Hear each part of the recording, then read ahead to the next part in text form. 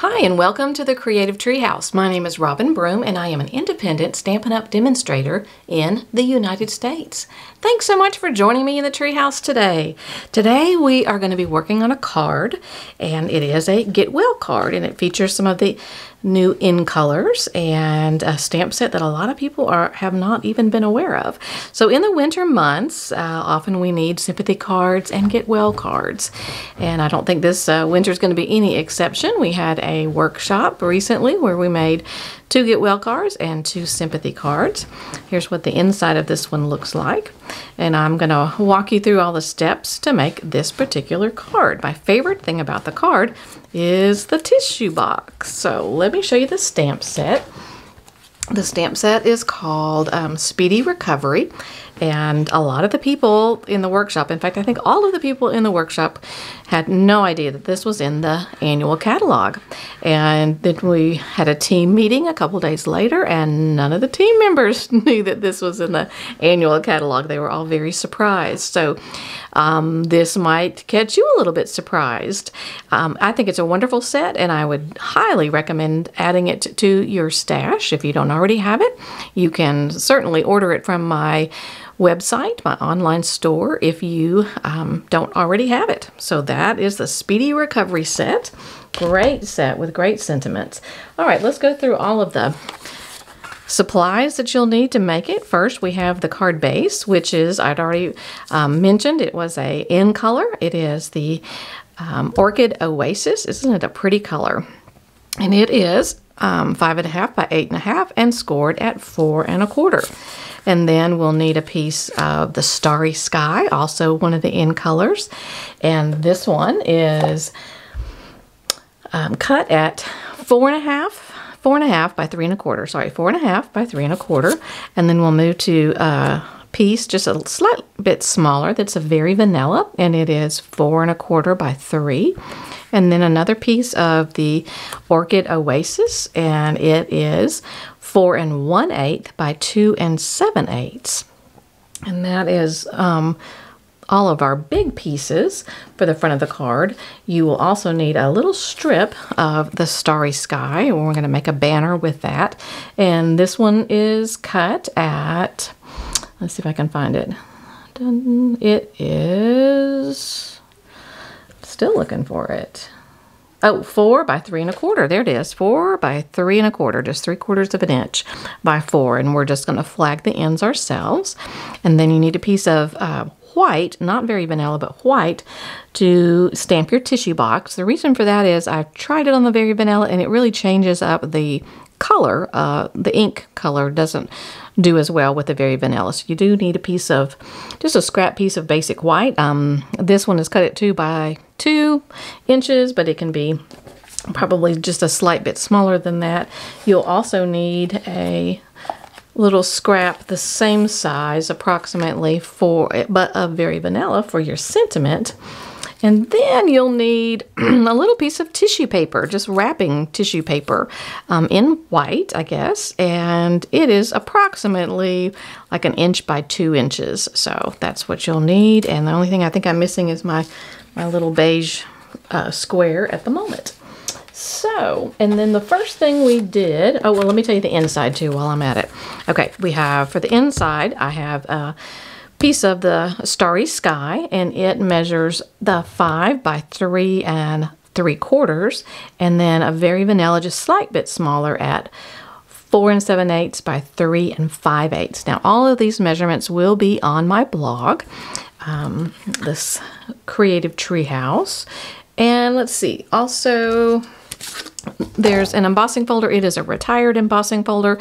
My embossing folders at workshops go through some um, serious wear and tear. So um, people, when just uh, a heads up, be sure that when you when you run it through your stamp cut and emboss machine, that you run it through this way with the seam side and not any other way, especially this way because it it will tear it up. And be sure that all your plates and things are lined up as you push it through too so because it will eat the the edges of any of your folders. I believe this one was probably like the subtle textures or something. It is retired. Um, i don't believe in the in the current annual catalog there's anything similar that's like slightly subtle, but um, you may already have this one or something else that would work.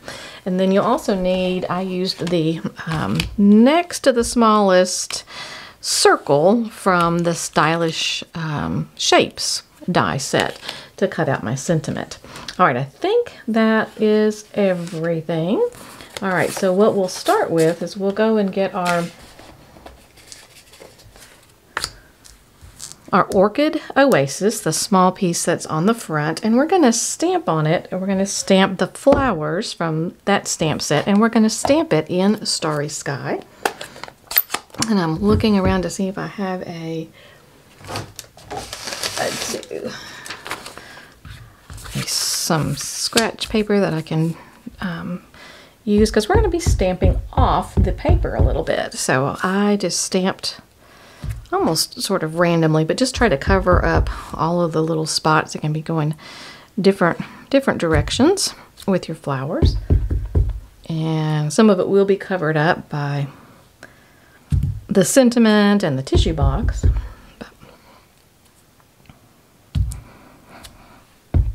So we'll just see what we can do. In fact, I think I'll just put the some stems right here. And maybe see if we can fit that one in there as well. All right, that's fine, because like I said, a lot of that's going to be covered up. All right, and we use the Starry Sky for that. All right, and now, um, well, actually, I'll keep the Starry Sky out, and we are going to, to do the tissue box next. So, in the tissue box, um, like I said, it's going to be on the white piece, and any of these that are just have a really smooth, especially the ones that have larger um, smooth surfaces, the Stamp Stamparatus is a wonderful tool to use with that and it makes it, oh, that one turned out well. But you can see on this one, I did not use the Stamparatus, and it was a little bit lighter right in here. Okay, so now we've got that one stamped. And all right, let me go ahead and show you what we what I did with the tissue box.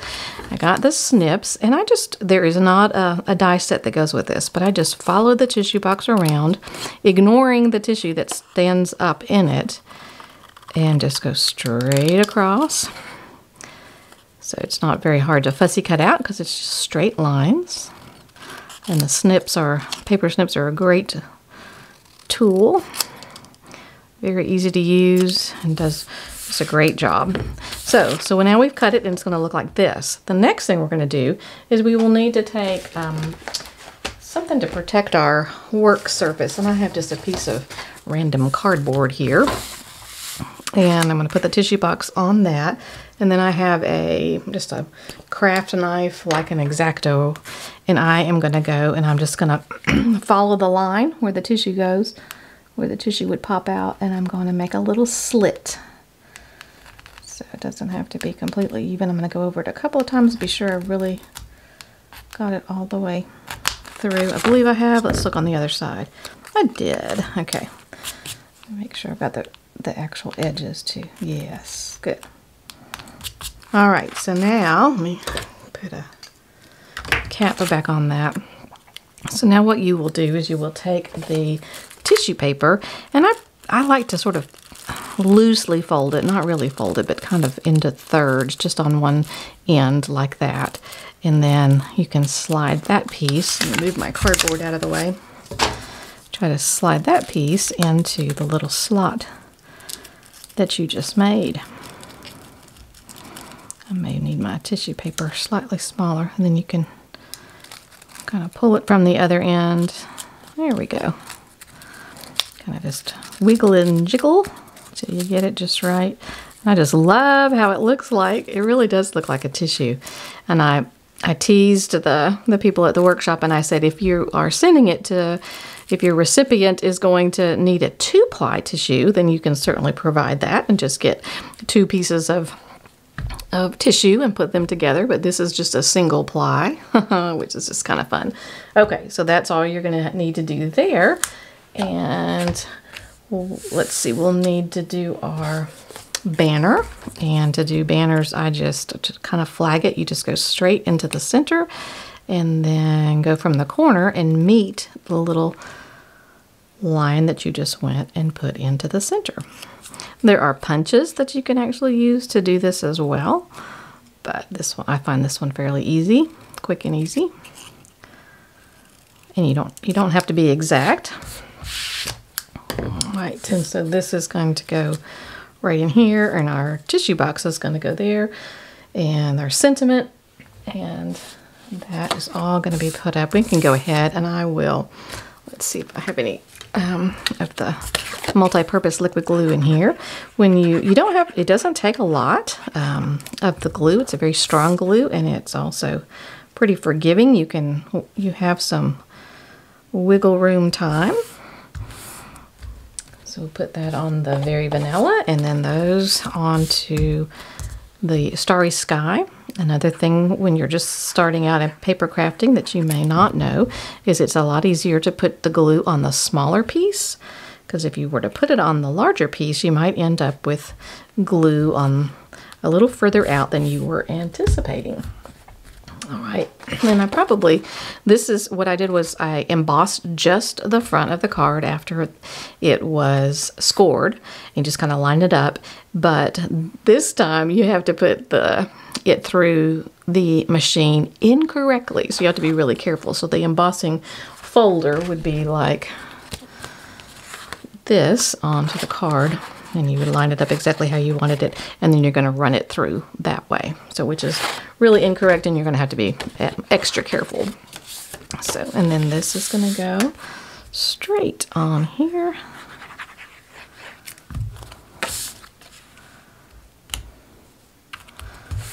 Like that and your um, tissue box and your sentiment are going to be popped up on dimensionals.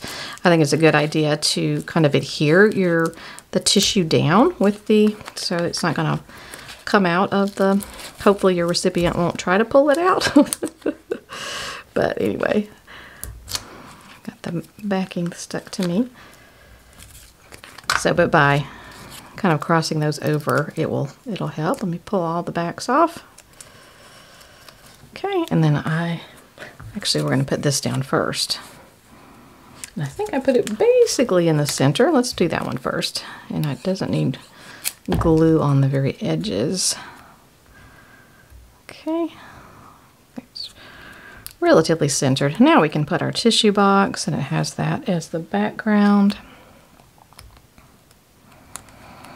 And like I said, you can kind of move your the tissue around the way you would like it to be. And then let me grab the um, our sentiment and we'll stamp the sentiment and put that one on there.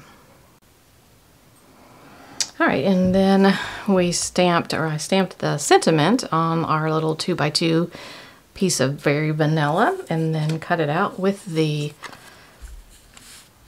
stylish shapes, the third from the smallest. And we will also put this one up on dimensionals. Oh, I think three dimensionals sounds good. And pull the backs off. And we're going to put that right about there. All right, now the only thing we have to do is the center. And while we had the flowers out, we probably could have stamped the flowers. So let's grab the flowers again in our Starry Sky ink. And all I did was I put, a lot of times on the inside I will stamp off and make it a lighter color, but I, I liked this one. I liked it with in full strength. All right. All right, now we're going to take this because, again, it's the smaller piece, and we are going to put some liquid glue on it, adhere it to, to the slightly bigger Starry Sky piece of paper. and then all of that on to our the inside of our card base. Okay. It looks like I'm a little off kilter, so you get to see, ah, yes, how nice the liquid glue is to be able to to move it. Ah, much better. All right, so there it is. Very easy to do. Um, and like I said, I just love, love, love that little um, element to it with the tissue. So I hope you do. I hope you're you'll be able to use that. I hope you notice the the stamp set and, and want to use that stamp set as well, the speedy recovery. So I guess that is it for now. Where's my original? Here's my original. So there we have the original and the one that we just made our Get Well card. So thanks for watching and thanks so much for those of you have, who have already subscribed to my YouTube channel. If you have not, please consider subscribing. I usually put out a video about once every other week. So I look forward to hearing from you. Please leave a comment and, and don't forget to subscribe. And I'll see you next time in the Creative Treehouse. Thanks so much. Bye-bye.